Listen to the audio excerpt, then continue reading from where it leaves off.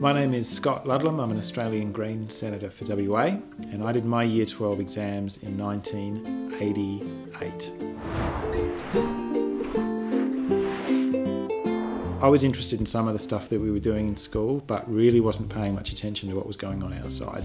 INXS were really big. INXS were my favourite band.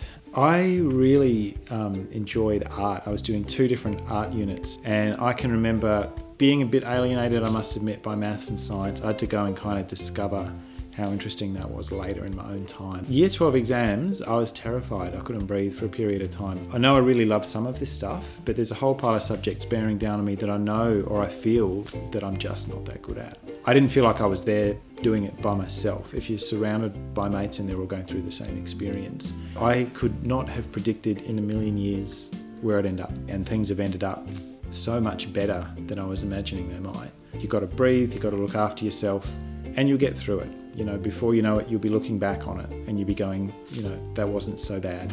There really is life after your year 12 exams.